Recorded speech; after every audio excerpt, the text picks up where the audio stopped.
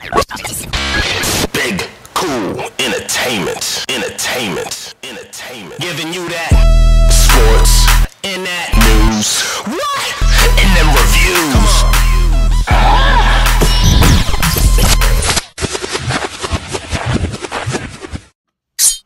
What up, YouTube? It's your boy Big Kool coming to you from Big Kool Entertainment, and today I'm here to talk about The Walking Dead and casting news. Um, late last night, it was revealed that Stuart Greer would be playing uh, a savior named Roman, and I'm assuming some of the pictures, if you you know follow the Spoiling Dead, they broke the news, or at least where I found it, found out about this.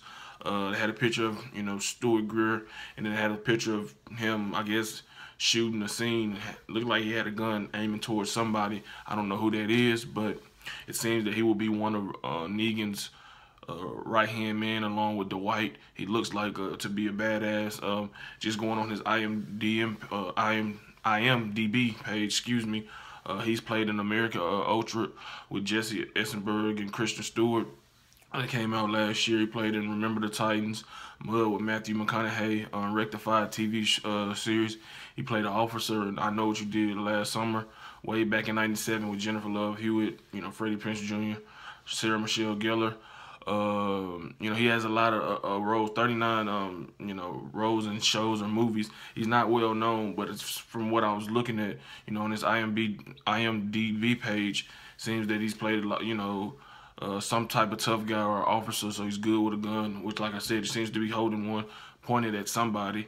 Um, and I think that he has the look of a, a, guy who would, you know, tag along with Negan. We know Negan is a mean, sadistic um, serial killer, psychopath, you know, just a head honcho. He's just a, a crazy guy. And, you know, you have to surround yourself with like-minded people um, to be able to, to, to maintain your strength and, and, and, your control. And that's what he seems to have done um, with Dwight. Although Dwight is not is built like him, he he's forced to you know to conform and, and to get in line, um, or you know suffer death or other injury.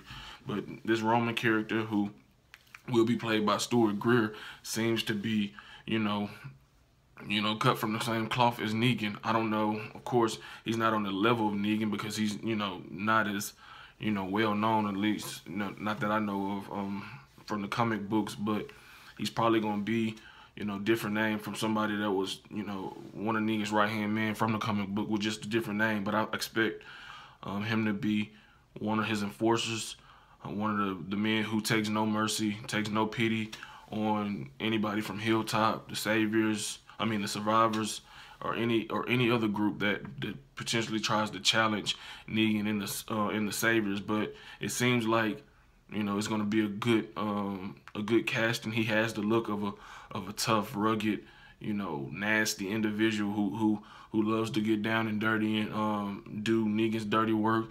And it, it, it seems like he's going to be you know somebody who possesses a lot of uh, threat and challenges for um, the survivors because we all know from watching the last few episodes that you know Rick and the survivors have killed over 50 of the saviors and you know in the comments you know reading on, YouTube Facebook anywhere you know you, you're reading about the Walking Dead and, and you know episodes it seems like that's just the, the saviors are weak which we know is not the case. It seems like there are more saviors in you know, in the TV series than it were in um, you know, in the comic book series. But like I said, you know, once Negan arrives, now now with Stuart Greer, excuse me, um, being confirmed as one of um, Negan's, you know, men, you know, in my opinion, one of his go-to men, right-hand man, as Roman. I think that now we're gonna start to see a, more of an even playing field and, and the momentum will shift back to uh, Negan and the Saviors. But that's just my video. I'll do another video later today. I just wanted to, you know, discuss the uh, casting of Stuart Greer as one of the Saviors, um, Roman, who I, you know, perceive will be the right-hand man or one of the right-hand men um, that Negan trusts the most to, um, you know, execute anything asked. So in the comment section below, tell me what you think of the casting of Stuart Greer. Are you familiar with his work? Um, I'll post his IMDb uh, link in the description so you can check it out, read up on him. Like I said, he's not a big known actor.